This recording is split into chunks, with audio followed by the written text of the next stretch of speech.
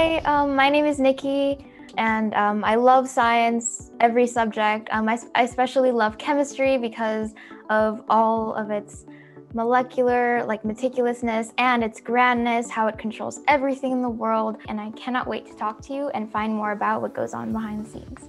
Awesome. Well, hi, Nikki. Um, I'm Erin Burke, and I am the technical manager for our analytical and lab services. My first question to you is When did you decide that you wanted to do chemistry as your career? Well, I always had an interest in science when I was young, but I did not realize that I had a gift in chemistry until I took it in high school. And it's almost like some people are really good at learning another language and speaking another language. And chemistry, in many ways, is like learning another language. And it was very easy for me to, to learn that language. What is your favorite part of your job? Like, what do you love doing whenever you come into your office? Like, what do you want to be like, yes, I'm going to do this today? The variety of projects that I get to have my hands on.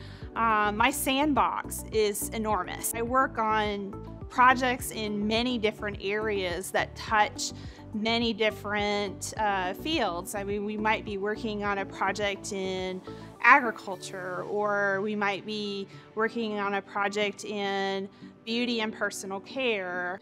In the time that I've been here, I've learned so much about, you know, what goes into an automotive, you know, car care product or what goes into a face cream or a sunscreen or you know, what goes into a paint coating. So, um, how has your job and chemistry in general impacted your life? Like, whenever you're in the kitchen and you're baking and you're just like, hey, that chemical creates this reaction. Like, does that ever happen? One of my favorite shows is actually uh, the, the baking shows um, that they are the baking competition shows.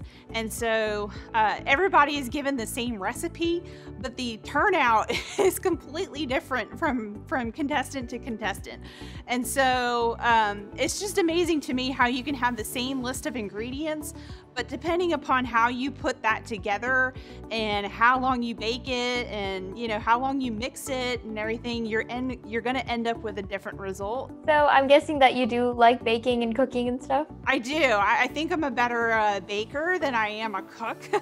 um, what advice you have for girls like me who do want to go into STEM? You will encounter many challenges and you know many. Um, uh, bias, you know, because you're a woman trying to pursue science. But if it's what you truly love and it's what you're truly passionate about, you have to kind of learn to tune that stuff out and just keep on moving forward with what it is that makes you happy.